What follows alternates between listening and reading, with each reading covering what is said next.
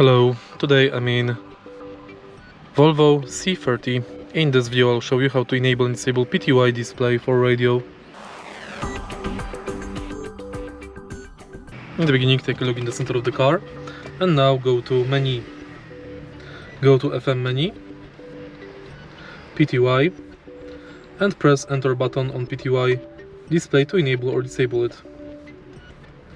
If you find this video helpful, please leave like, comment and subscribe.